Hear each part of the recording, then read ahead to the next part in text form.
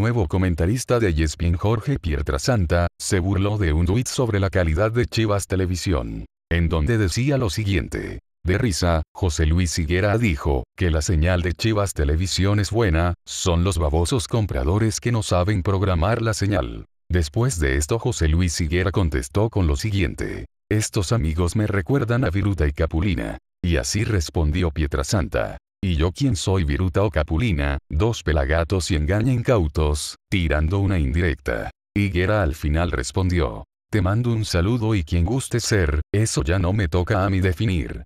Y a tus órdenes sería un placer conocerte. Se supone que Pietrasanta es aficionado de Chivas, pero parece que Chivas Televisión es de muy baja calidad para que un aficionado se burle de tu plataforma. Seguiremos informando.